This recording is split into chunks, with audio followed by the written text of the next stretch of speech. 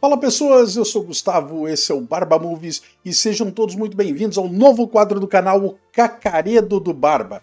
Aqui a gente vai falar sobre filmes mais antigos, filmes bons, filmes ruins, filmes medianos, como o filme de hoje. O Sombra é aquele tipo de personagem que, se você nunca ouviu falar, não sabe o que está perdendo. Ele é o clássico vigilante sombrio e misterioso, protótipo do anti-herói mascarado que tanta gente curte hoje em dia. Na era em que os super-heróis brilhantes e éticos dominavam as histórias, o Sombra trouxe algo diferente. Um cara que agia nas sombras sem medo de sujar as mãos para fazer justiça. E a gente já vai falar sobre isso. Mas antes, se você ainda não é inscrito aqui no canal, dá essa moralzinha, não esqueça de curtir e compartilhar, porque isso ajuda muito a entregar esse vídeo para mais pessoas. Beleza? Vamos trabalhar então. Criado no início dos anos 30, ele nasceu nas páginas de revistas pulp, que eram basicamente os quadrinhos para adultos da época. Sabe aquelas publicações baratas com papel de qualidade bem duvidosa e enredos violentos? Então, era ali que o Sombra reinava. Mas não fica achando que ele ficou restrito só às páginas impressas. Ele foi um dos primeiros personagens a transitar entre vários meios e cá entre nós, o cara fez isso com estilo.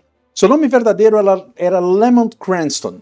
Só que, como todo herói misterioso que se preze, o Sombra também gostava de uma boa dose de identidade secreta. Na verdade, durante boa parte de suas aventuras era comum que ele assumisse diferentes nomes e identidades, confundindo tanto os vilões quanto o público.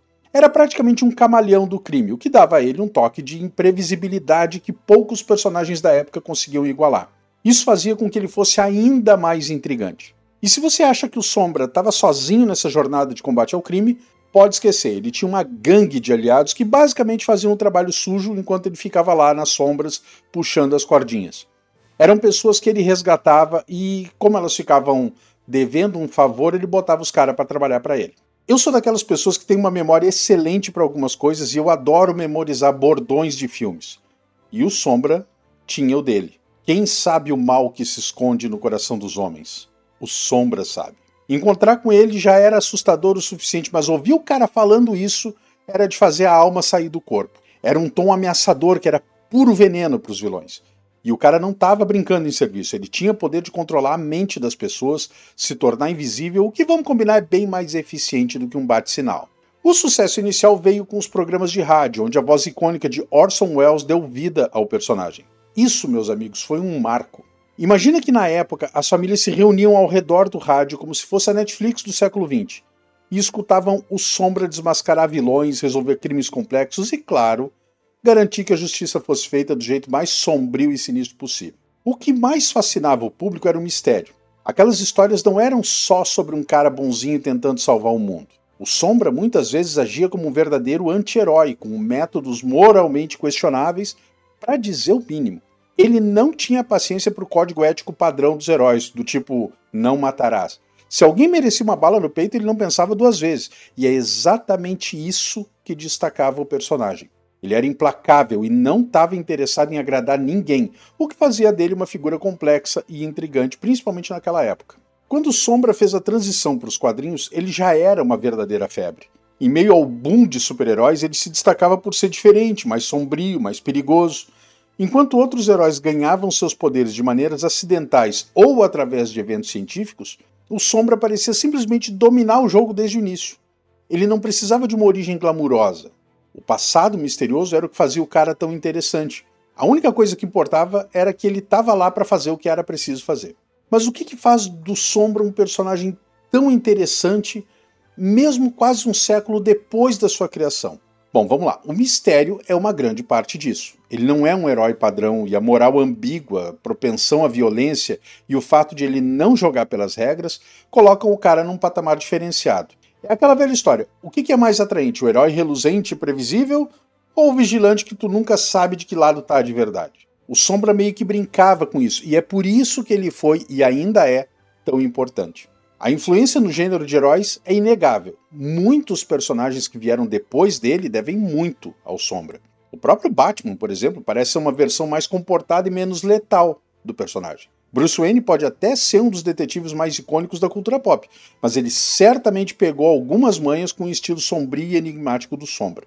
Aquela coisa de desaparecer nas sombras, de ser uma, mais uma lenda do que um homem, tudo isso começou com o Sombra. Ele pavimentou o caminho para uma nova geração de personagens complexos e anti-heróis que não seguiam o manual do escoteiro. É engraçado a gente pensar que num mundo onde a gente já está de saco cheio de super-herói, o Sombra ainda consegue se destacar. Talvez porque ele nunca foi sobre os superpoderes ou sobre a glória. Ele é sobre a escuridão que existe dentro de todo mundo e o que a gente está disposto a fazer quando a justiça parece que está fora de alcance. Ele é a personificação da vingança e do mistério, algo que ressoa com as pessoas de um jeito visceral. Aqui entre nós, no Brasil, nos últimos tempos, a gente meio que tem sentido isso com uma certa frequência. E claro, tem algo inegavelmente legal no fato de ele simplesmente saber de tudo. Aquele slogan icônico, o Sombra sabe, é uma das frases mais memoráveis da cultura pop e até hoje continua a ser citada, referenciada e homenageada em diversos outros trabalhos. Não é à toa que o personagem, mesmo sem estar constantemente em evidência, nunca foi completamente esquecido. Ele é como aquele amigo que a gente não vê há muito tempo, mas que quando reaparece traz todas aquelas memórias, todos aqueles sentimentos de volta. Mas a gente também não pode ignorar que, com o tempo, o Sombra acabou sofrendo com a transição da cultura. As gerações mais novas, acostumadas a heróis com poderes extravagantes, explosões em cada esquina, podem achar o Sombra um pouco antiquado, afinal, o mundo dos quadrinhos e das adaptações cinematográficas evoluiu bastante. E personagens que antes eram vanguardistas acabaram ficando para trás. Só que isso não diminui a importância que ele teve na formação do gênero de vigilantes. Ele plantou as sementes para que outros heróis mais conhecidos e celebrados pudessem florescer. Sem o Sombra, provavelmente não existiriam o Batman, o Wolverine ou o Justiceiro. Pelo menos não da forma como a gente conhece esses caras hoje. E é exatamente isso que mantém o Sombra relevante. Não é só sobre suas aventuras ou suas habilidades psíquicas, é sobre o que ele representa no mundo dos quadrinhos e além. Ele é um lembrete de que nem todos os heróis precisam ser reluzentes, perfeitos ou moralmente puros. Alguns podem existir nas sombras, operando entre as linhas da lei e da justiça, e ainda assim podem fazer a diferença. Mesmo que não tenha o mesmo brilho ou notoriedade que outros heróis icônicos, o Sombra continua a ser uma peça fundamental na história dos vigilantes mascarados. Ele foi um pioneiro e sua marca está em tudo que veio depois dele. E para aqueles que apreciam uma boa história de justiça feita do jeito não tão convencional, ele sempre vai ser o cara certo. Isso nos leva até a década de 90 e Hollywood decidiu que era uma boa ideia trazer o Sombra para as telonas.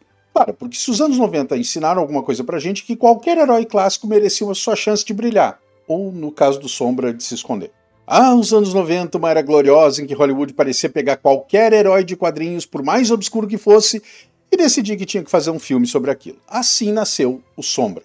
Estrelado por Alec Baldwin, uma produção que é um mix do charme no ar dos anos 30, poderes psíquicos absurdamente convenientes e uma tentativa de ressuscitar um personagem que a maioria do público provavelmente nem sabia que existia. Mas era a vibe da época. Vamos mergulhar nesse mundo bizarro de mentes controladas e capas esvoaçantes. O filme começa com uma reintrodução meio confusa e francamente esquisita de Lamont Cranston, o personagem do Baldwin, né? o nosso herói com um passado obscuro. Veja bem, ele não era exatamente o que a gente esperaria de um herói pa padrão. Cranston começa sua vida na trama como um senhor do crime na Ásia. Nosso querido protagonista começou malvadão. Ele era basicamente um gangster que, por motivos inexplicáveis, decidiu que produtos medicinais era uma boa carreira. Felizmente, um monge misterioso, porque, claro, tem que ter um monge misterioso, decide que o Cranston está desperdiçando seu potencial. Então ele captura o cara e dá um ultimato. Ou entra na linha e aprende a usar os poderes psíquicos que, ele tem para o bem, ou. Tá, a gente não sabe muito bem o que, que aconteceria no ou, mas fica bem claro que não era legal, que seria ruim. E aqui está o primeiro dos muitos furos desse roteiro. Cranston aparentemente sempre teve esses poderes, mas nunca pensou em usar a bagaça, até um monge aleatório na Ásia dizer para ele usar. Coerência? Que? Não precisa. Depois de um tempo de treinamento no retiro espiritual, o Cranston volta a Nova York, totalmente reformado e com um novo propósito na vida. Ele agora é o Sombra, um vigilante mascarado que usa suas habilidades psíquicas para lutar contra o crime. Agora, o visual do Cranston como Sombra é algo que eu sempre gostei. Ele veste um chapéu fedora de aba larga, uma capa longa por baixo da capa, na maioria das vezes ele usava um casaco longo sobre um terno e um cachecol vermelho cobrindo a boca. Em algumas representações do personagem, o Sombra era fisicamente diferente do Cranston, com sobrancelhas mais espessas, um nariz mais comprido e olhos vermelhos. Corta para Nova York. Cranston está pronto para chutar umas bundas. É aqui que a gente encontra o grande vilão da história, Shiwan Khan, o último descendente de Genghis Khan. eles tiveram essa coragem. Yuan Khan é tão genérico quanto parece. O cara quer dominar o mundo porque é isso que descendentes de conquistadores fazem, aparentemente. O grande plano: usar uma bomba atômica para chantagear a humanidade. Clássico. Khan tem seus próprios truques mentais e tenta dobrar o Cranston à sua vontade. O confronto entre os dois é basicamente uma guerra do tipo: eu vou ler tua mente melhor do que tu lê a minha. O que soa muito mais épico do que realmente é, vamos combinar um negócio. Enquanto os dois jogam xadrez mental, a gente tem uma sequência de cenas que variam de intensas a completamente absurdas. Tipo, uma das maneiras do Cranston derrotar os seus inimigos é manipulando suas mentes para que eles vejam coisas que não estão lá. É basicamente um superpoder de trollagem. Ele poderia fazer alguém pensar que está caminhando sobre vidro quente, quando na verdade está andando em uma superfície normal. Ou fazer você acreditar que está sendo atacado por um tigre feroz, enquanto na verdade só está sozinho na sala. Meio infantil? Talvez, mas quem não gostaria de ter um poder desses para as reuniões de trabalho intermináveis de segunda-feira? Claro, como todo herói de filme dos anos 90, Cranston tem que lidar com suas próprias questões pessoais enquanto salva o mundo. Básico. Porque salvar o mundo sozinho não é desafio suficiente. Em algum lugar, entre lutar contra Khan e salvar Nova York de uma explosão nuclear, Lemont Cranston encontra tempo para se apaixonar. Entra na história Margot Lane, personagem da Penelope Ann Miller, uma socialite com, adivinha, habilidades psíquicas também. Porque é claro que eles tinham que se conectar em um nível mental. O relacionamento deles é tão previsível quanto qualquer outro romance de filme de ação dos anos 90. Eles se conhecem, trocam olhares sedutores e de repente, pau, estão entrelaçados em um drama amoroso que ninguém pediu, mas que o roteiro impôs a todo mundo. Margot, na verdade, é uma personagem interessante, mas também é muito mal aproveitada. A mulher consegue se comunicar telepaticamente e tudo o que fazem com isso é tornar ela o interesse amoroso do Cranston. Chance perdida? Com certeza. Mas pelo menos ela traz um pouco de vida às cenas que de outra forma seriam dominadas pelo Alec Baldwin, franzindo a testa e falando sobre o quão sombrio ele havia se tornado. Agora vamos falar sobre o clímax. Você já sabe como esses filmes funcionam. O vilão coloca o plano em ação, o herói tenta impedir, tem uma grande explosão ou uma ameaça de uma grande explosão, então o herói vence no último segundo possível. É um verdadeiro clássico dos anos 90, basicão, a grande luta entre o Sombra e o Khan acontece no que só pode ser descrito como o cenário mais exageradamente absurdo possível: um hotel invisível. Fizeram isso também. Khan tem um esconderijo que é basicamente invisível para todo mundo porque ele também pode nublar a mente das pessoas, fazendo elas acreditar que o lugar simplesmente não existe. Que conveniente, né? Enquanto Cranston se infiltra no hotel invisível para parar o Khan, a tensão. Peraí, tem tensão? É difícil sentir qualquer coisa quando o vilão é tão genérico quanto possível e o herói parece estar só passando pelos movimentos, mas pelo menos a gente tem efeitos especiais dos anos 90. Claro, alguns deles são impressionantes para a época, mas outros, vamos combinar, que a gente pode sentir o CGI datado e tosco se aproximando. No final, o bem triunfa, como sempre, Lemont Cranston permanece o misterioso vigilante de Nova York. Khan é derrotado da maneira mais anticlimática possível, o romance entre o Cranston e a Margot se resolve da maneira mais óbvia, e todos vivem felizes para sempre, ou qualquer coisa nesse estilo. O filme termina com aquela sensação típica de ah, era só isso, onde a gente fica se perguntando se realmente precisava ver tudo aquilo. Mas ao mesmo tempo a gente sente uma certa nostalgia porque aquela fórmula padrão dos anos 90 trouxe aquilo ali dos anos 30, então tem algo de reconfortante nisso. Brincadeiras à parte, o Sombra tinha potencial. O personagem original dos quadrinhos e da rádio era um herói no ar genuinamente interessante, um precursor do próprio Batman que usava suas habilidades para assustar os vilões e trabalhar nas sombras. Só que o filme de 94 se perdeu em uma confusão de conceitos, estilos e um roteiro que não conseguia decidir se queria ser uma homenagem ao original ou uma modernização totalmente nova. No fim, ficou preso em algum lugar no meio das duas coisas e o resultado foi, bom, uma sombra do que poderia ter sido. Desculpa o trocadilho do carilho. Dito isso, Alec Baldwin fez o que pôde com o que foi dado para ele. Ele tinha a presença necessária para o papel, mas o material simplesmente não acompanhou o talento do cara.